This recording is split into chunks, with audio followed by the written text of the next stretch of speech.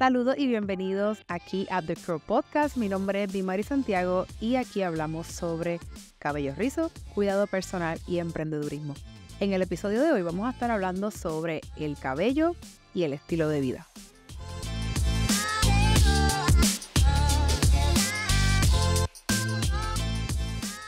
En este episodio me gustaría tal vez eh, llevarle algunas ideas, eh, quizás no, no tan técnicas, no es como que práctico, sino que tal vez podamos hablar un poquito sobre el cabello, el estilo de vida, de porque no me gustaría que pudiéramos al final de este episodio ver el cabello como que es parte de nuestro cuerpo, que no es solamente un accesorio, que no es solamente un look, y que cómo podemos buscar la manera de que el cabello nos funcione, que sea práctico en nuestro día a día y que no sea un elemento de nuestra imagen que nos traiga problemas o que nos traiga eh, contratiempo o que siempre sea una dificultad, sino que pueda funcionar dentro de lo que es nuestra vida diaria.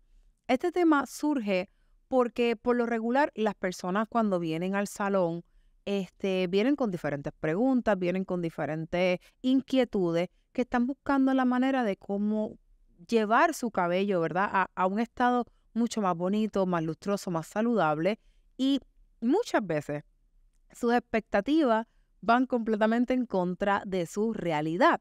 Hay muchas personas que quieren, desean, anhelan tener el cabello pues lo más largo posible, pero cuando tú empiezas ese tiempo de, conversación y esa consulta con el cliente, pues resulta que la persona pues no tiene tanto tiempo para dedicarle al cabello, quizás no tiene tanto presupuesto para dedicarle a ese cabello. Y quizás sí tiene el tiempo y el presupuesto, pero realmente no tiene las ganas de dedicarle todo ese tiempo o presupuesto al cabello. Y entonces nuestras expectativas y nuestros deseos van completamente en contra de lo que nosotros podemos hacer o queremos hacer. Ahora, aunque este tema podría ser mucho más extenso y profundo si nos fuéramos, ¿verdad?, en ese en, en esa línea, porque también ahí tiene que ver mucho con la autopercepción, con lo que pensamos que es bonito, con lo que pensamos que debe ser.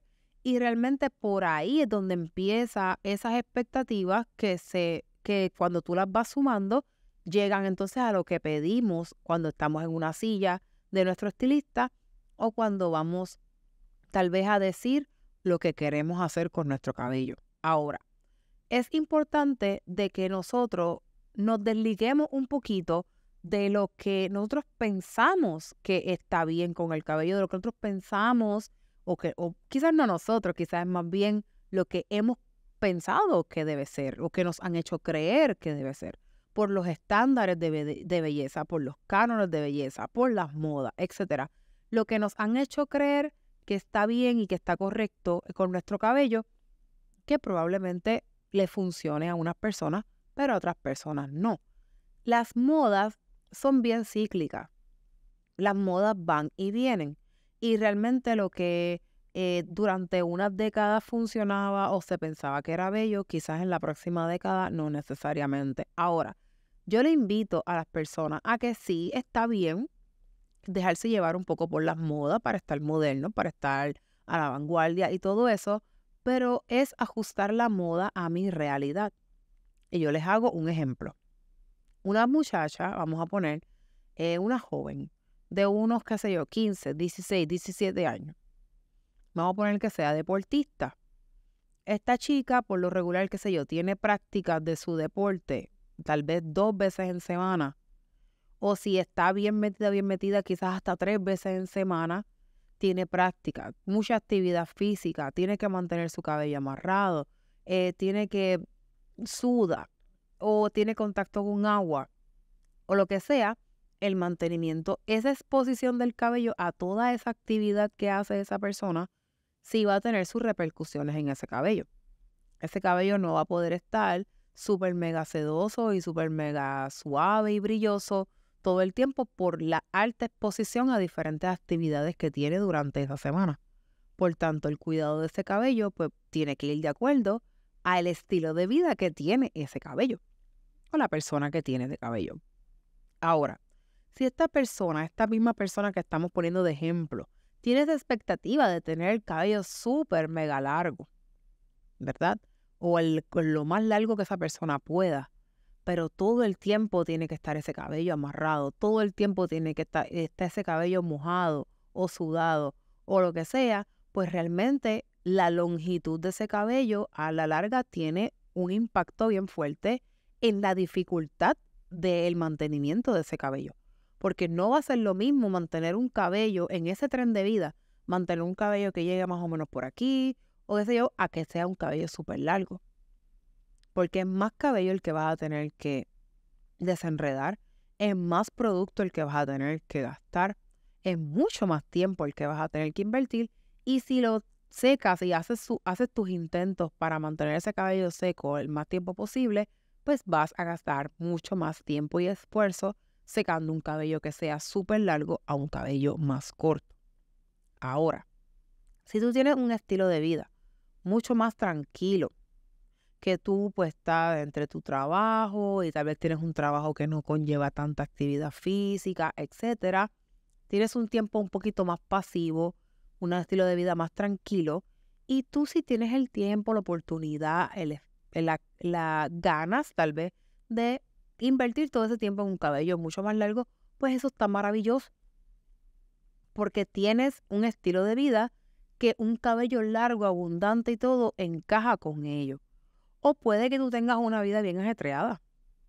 Y aún así te encanta tanto llevar tu cabello largo que haces el tiempo, el esfuerzo, el presupuesto y todo para que pueda funcionar. Pues eso está maravilloso. Ahora, lo que yo realmente te quiero llevar es lo siguiente.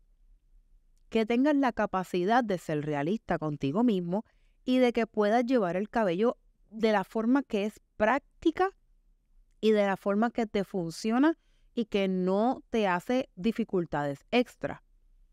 La cuestión es de que es maravilloso, sería maravilloso, que tú puedas llevar tu cabello de la forma que sea y tú seas feliz con eso. Que tu cabello no te traiga más dificultades. Y, y quizás, aunque sí tome más tiempo para ti, pero como te encanta tanto y lo haces, pues no te quejes porque tú lo que te gusta no te vas a quejar haciéndolo. Ahora, un ejemplo, otro ejemplo que te traigo. Yo me recuerdo también una cliente una vez que era una mujer adulta, entiendo yo retirada, que había tomado por, por hobby, le gustaba la natación. Y esta persona había hecho transición y se, ella literalmente se pasó la máquina cuando y se empezó a hacer la transición y tuvo ese periodo de tiempo de crecimiento y ya en ese momento que la tenía en mi silla tenía el cabello bastante larguito, un afrito bastante larguito ya y lo tenía completamente canoso y todo porque ella se fue natural completa. Ahora, ella vino a mi silla preguntándome como que mira, que yo no sé qué hacer con este cabello, que yo no sé cómo manejarlo, que, que también es canoso, entonces no se riza igual, bla, bla, bla. Yo quiero que tú me digas a mí qué hacer. Además que yo practico natación, que yo no sé qué, y entonces pues se me moja el cabello y es una dificultad y todo eso. Yo trato de traté de darle algunas opciones, pero entonces esta fue la clave. Que ella me muestra una foto de cómo le había quedado el cabello cuando ella pues se lo puso bien bajito, se lo recortó completo, de cómo le había quedado. Y esta fue la clave, esta fue la, la frase clave que yo utilicé para tratar de llevarla a lo que es prioridad en su vida. Ella me dijo, este momento en que yo tenía el pelo así de corto, este fue el momento más feliz de mi vida. Y yo, ajá, cuéntame un poquito más sobre eso. Y ella me decía, sí, porque yo pues no tenía que estarme preocupando por el cabello, porque pues como estaba tan cortito, no me tenía que peinar, yo me tal vez me ponía un poquito de maquillaje, un poquito de lipstick o de lo que sea, y yo seguía y estaba feliz.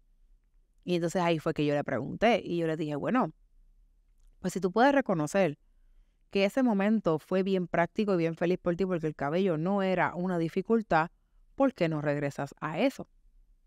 Y el detalle es que esta persona se dejó crecer ese cabello durante todo ese tiempo, quizás como dos años aproximadamente, creyendo que tiene que tener el cabello largo, pues porque sí, o porque esa es la forma, o por, o dio por sentado de que tenía que tener el cabello más largo, cuando realmente ya podía reconocer de que lo que le funcionaba y lo que le hacía feliz en ese momento dado era tener el cabello corto. Y yo le dije, mira, te pongo sobre la mesa. ¿Y qué tal si lo vuelves a llevar así de corto?